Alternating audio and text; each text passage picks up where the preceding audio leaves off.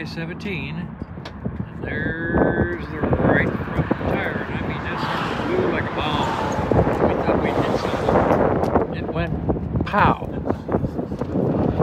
So, on the other hand, we got a nice, wide, safe place to pull over here.